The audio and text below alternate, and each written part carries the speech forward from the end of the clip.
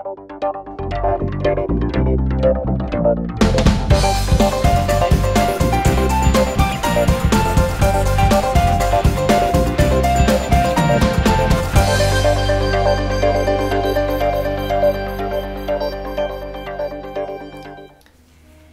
mừng quý khách đến với video Canada thêm 30.300 việc làm trong tháng 2 Tỷ lệ thất nghiệp là 5.6% Nguồn tần báo thời mới.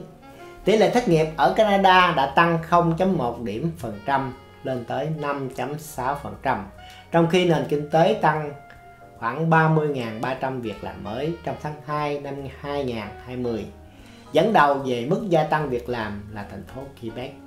Tỉnh bang đã tăng số việc làm trong tháng thứ ba liên tiếp, theo cơ quan thống kê của Canada. Cuộc khảo sát lực lượng lao động mới nhất cho thấy hầu hết mức tăng trên toàn quốc là việc làm toàn thời gian tăng 37.600 việc làm trong khi việc làm bán thời gian giảm 7.300 so với tháng 1 năm 2020. Trong khi có gia tăng về số việc làm cho người lao động trẻ Việc làm cho lực lượng lao động cốt lõi ở Canada trong độ tuổi khoảng 25 cho đến 54 tuổi. Trong tháng 2 năm 2020, ổn định trong tháng thứ ba liên tiếp. So với một năm trước đây, số liệu cho thấy Canada đã tăng thêm 245.000 việc làm, tăng 1.3%. Chủ yếu là tăng về việc làm toàn thời gian.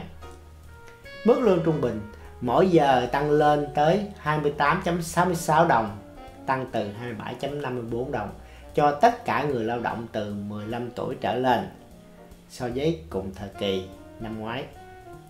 Cảm ơn quý khách đã theo dõi video. Khi quý khách có nhu cầu mua, bán nhà hay condo, vui lòng liên lạc trực tiếp với Quang Lâm theo số điện thoại 416 804 5111.